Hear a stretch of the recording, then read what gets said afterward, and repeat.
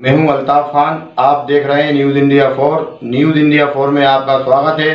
आइए नज़र डालते हैं इस वक्त की कुछ खास खबरों पर। फिरोंज, ऑटो चालकों द्वारा ऑटो स्टैंड पर ऑटो खड़ा न करने की शिकायत को लेकर आज ऑटो यूनियन के अध्यक्ष तोष मणि पंथी के नेतृत्व में एक आवेदन सिरोंज एसडीएम के नाम दिया गया, जिसमें कहा गया है कि नया बस स्टैंड पर नगर पालिका परिषद द्वारा पूर्व मंत्री लक्ष्मीकांत शर्मा जी के द्वारा नगर पालिका परिषद ने नया बस स्टैंड पर डीपी के पास वाली जगह पर ऑटो स्टैंड एवं पुराने बस स्टैंड थाने के पास एक निश्चित स्थान पर खड़े होने का प्रस्ताव पास किया था और तब से सारे ऑटो उसी स्थान पर खड़े होते आ रहे हैं। लेकिन अतिक्रमणधारियों द्वारा वहाँ पर कब्जा कर ऑटो वालों को खड़ा नहीं होने देते, धमकी देते हैं, गाली गलौज करते हैं। अतः ऑटो चालक बहुत परेशान हैं। उनकी समस्या का निदान करने की